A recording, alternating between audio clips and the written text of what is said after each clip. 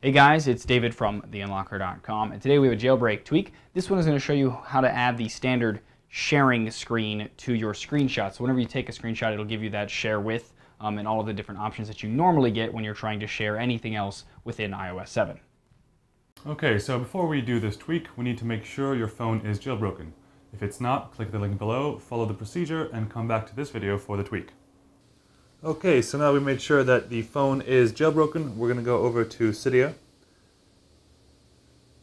Then we're going to go and search for the tweak once this loads up and does this little thing over there. Tap search on the bottom right. And once that lets you, you're going to tap on the text box and search for screen shot share sheet. Now, when that comes up, tap that. Now, this is an app that you have to purchase uh, for one dollar or ninety nine cents. Uh, tap cancel on that, and uh, you're gonna so you're gonna tap purchase on the top right over here, and go through the motions to purchase the app. So we're gonna sign in with Google. So once you've finished buying or purchasing the tweak, we're gonna go and tap close on the top right over here and it'll take you back to the screenshot share sheets page on Cydia, at which point you tap install on the top right, tap confirm again on the top right, and let it do its thing and install on your phone. And eventually it'll ask you to restart your phone on the bottom here and restart Springboard. So tap that to restart your phone and uh, wait for it to restart. Alright, so now that your phone has restarted, we're going to go into settings to configure the tweak.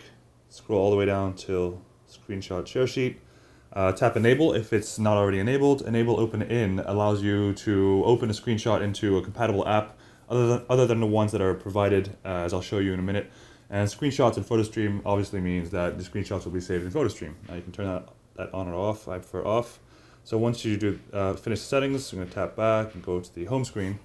I'm going to show you a test screenshot real quick or I'll turn off the phone. Let's try again. There you go.